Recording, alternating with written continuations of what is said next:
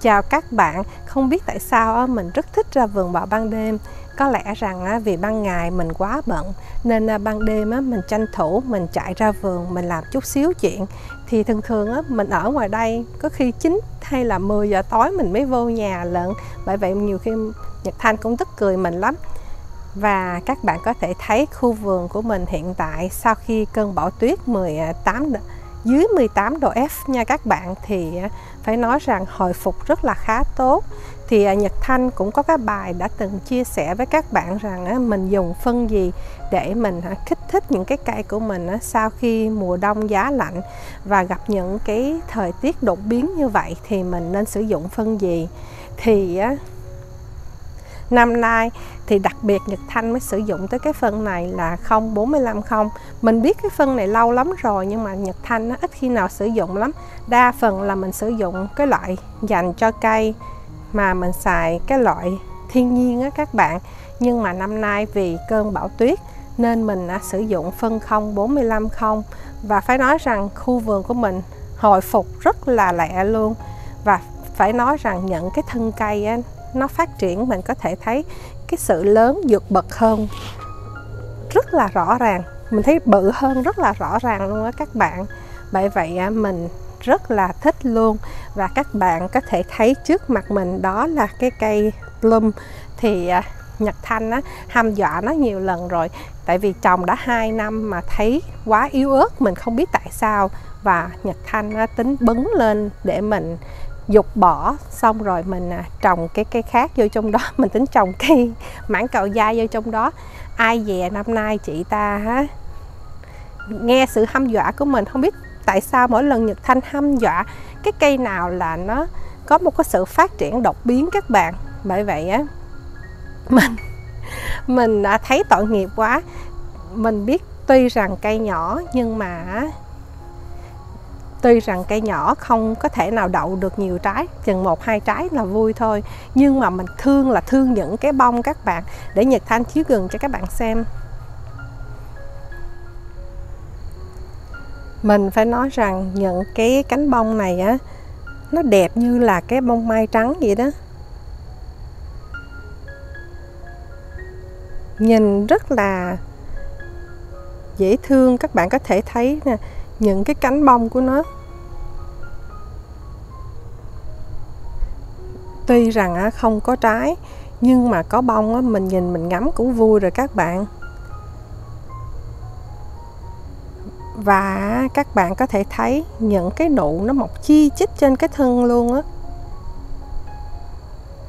Cái này mà nó nở hết á, mình nghĩ chắc chắn xóa cái cây luôn.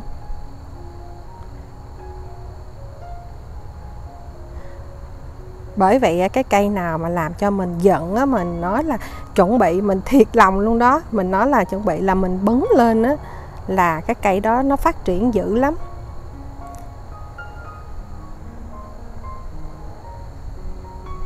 Đây, các bạn có thể thấy nè. Bữa nào á, chắc nó giận lên nó nói bà làm phách quá ha bà đã bỏ tôi nha, tôi đi luôn đó. Lúc đó mình ngồi mình khóc luôn.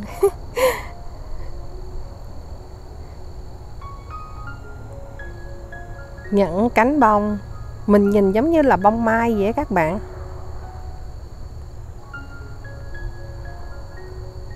Nụ mọc chi chít rất là dễ thương.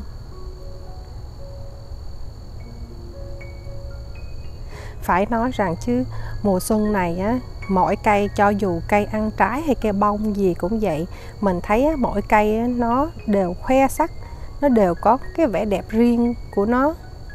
Mà thường thường á, mình thấy mình ít khi nào để ý tới cái bông của nó lắm. Nhưng mà Nhật Thanh rất thích ngắm bông, dù cho cây ăn trái hay là bông cũng vậy các bạn. Mình rất thích ngắm.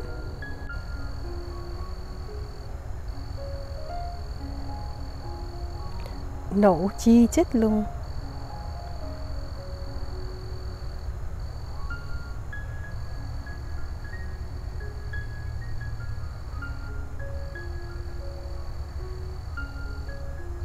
Không có trái, cũng có bông, cũng vui rồi các bạn. Rất là vui luôn. Nhật Thanh rất dễ thỏa mãn. Không cho trái ăn thì có bông được rồi.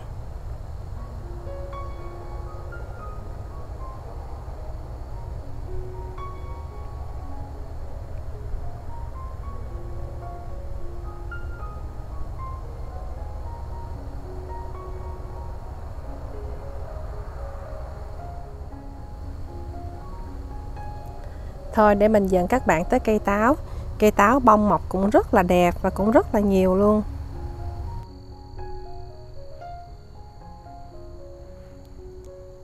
Cây táo gốc kia. Táo này à các bạn Nó ngọt mà nó giòn.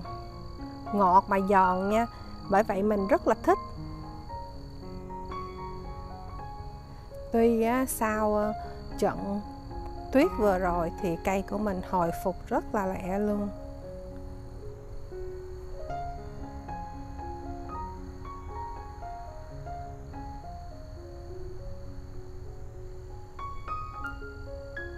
Những cánh bông táo nha các bạn.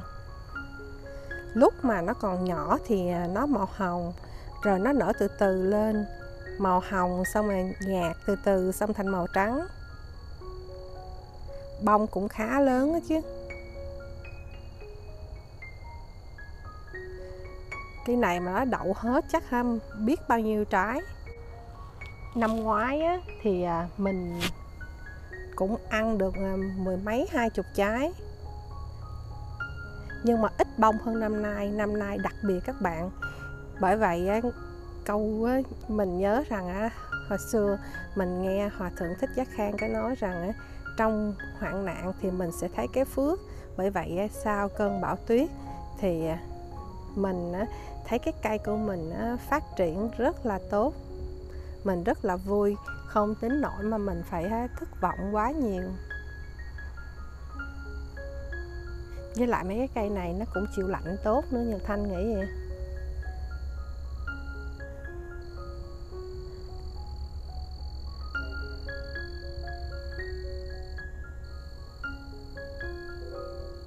Đây những cái bông táo mình phải nói rất là nhiều luôn đó. Bởi vậy Nhật Thanh nói mình á, muốn cái cây của mình ra bông nhiều á, thì mình phải kích thích cái rễ. Khi mà mình kích thích cái rễ á, các bạn thì cái cây của mình ra bông nhiều. Với lại mình phải cần thêm muối Epsom nữa để nó giúp thêm một phần. Rồi à, khi mà nó có trái thì à, nó đậu được chắc các bạn. Trái nó được ngọt nữa. Bởi vậy mùa đông á, là nhật thanh á, quan trọng á, chú trọng vào kích thích cái rễ với lại à, mình bón muối Epsom.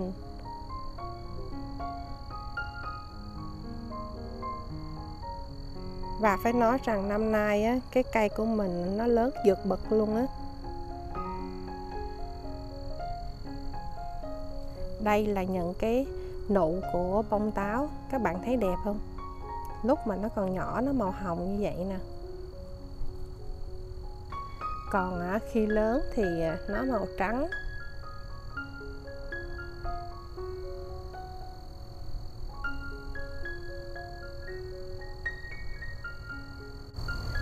Hôm bữa nó nở rật luôn á các bạn, mà nó rụng hết những cái cánh này đó, tại vì nó đậu trái rồi như các bạn thấy chỗ này nè, nó đậu trái rồi đó.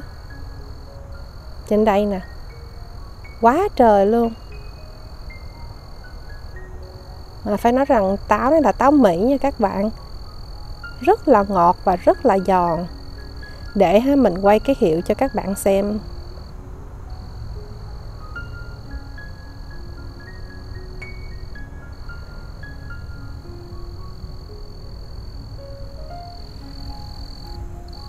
Cái hiệu ở đây nè.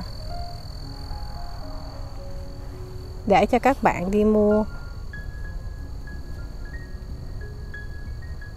Cái này hồi xưa mình mua trong Costco, họ bán có 18 đồng à. Các bạn thấy cái thân nè. Bây giờ nó lớn như vậy rồi đó.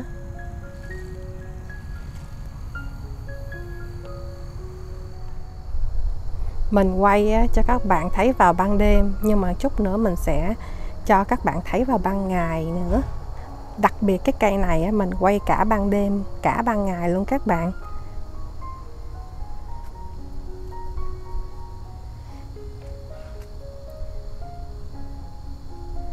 Các bạn thấy sao? Mình cảm giác như thế nào? Các bạn có mê không? Nhật thanh có chiêu dụ các bạn hoài à mình cứ giới thiệu cây này cây kia. Mình hả chiêu dụ mình không có chiêu dụ đâu nha. Mình nói thiệt đó mình không có chiêu dụ đâu. Mình hả chỉ muốn khoe thôi. Lúc mà cây này á, mình trồng mới có hai tuần thôi. Lúc mình mua về thì nó không có bông không có lá. Nhưng mà sau khi á, Nhật Thanh chăm sóc hai tuần á, các bạn thì nó đã có nụ có bông rồi. Tại vì cái cây á, này nó còn nhỏ trước khi mà cái cây này nó lớn các bạn thì mình phải nói rằng cái bông á nó sẽ mọc chi chít luôn. Một cái nhánh này nè các bạn có thể thấy á, nó mọc á, không có chỗ để thở luôn đó. Không thua gì bông đào của mình đâu nha không thua đâu người ta nói vậy đó. Và mình nói cái bông này nè nó bự khi mà cái cây nó lớn rồi á thì cái bông này, cái đường kính của nó có thể bề ngang khoảng chừng hơn một inch nha các bạn. Hơn một inch luôn á.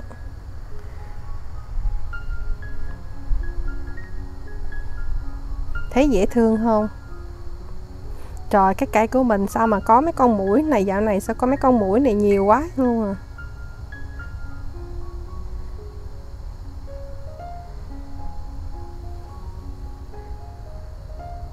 Mọc chi chít luôn á. Tới khi mà nó lớn, các bạn sẽ thấy á, cái nhánh cây nó mọc chi chít bông luôn, mà bông rất cái nhánh, rất là dễ thương.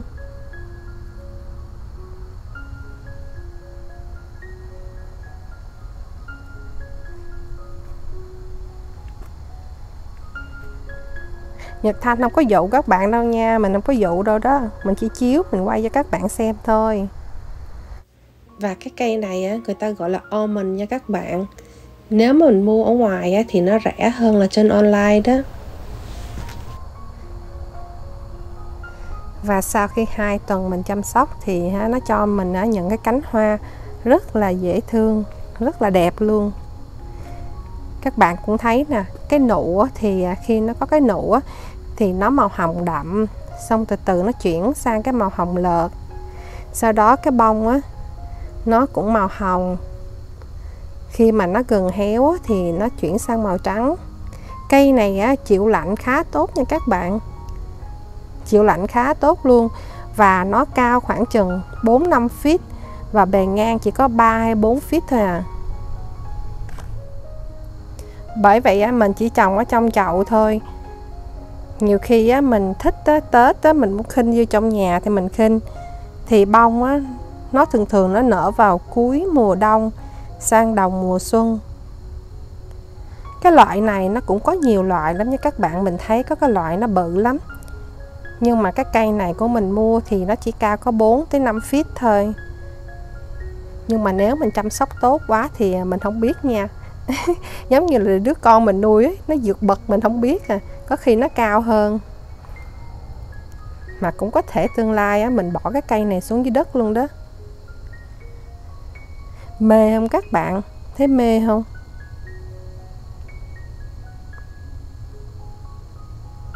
Nhật Thanh này kỳ quá Suốt ngày cứ hả? Giới thiệu bông hoài kỳ quá. À.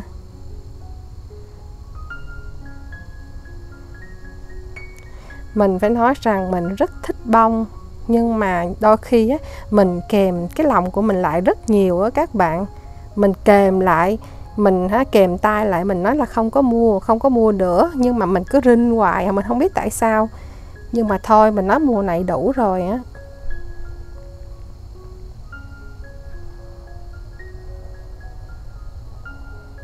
Đây, những cánh bông.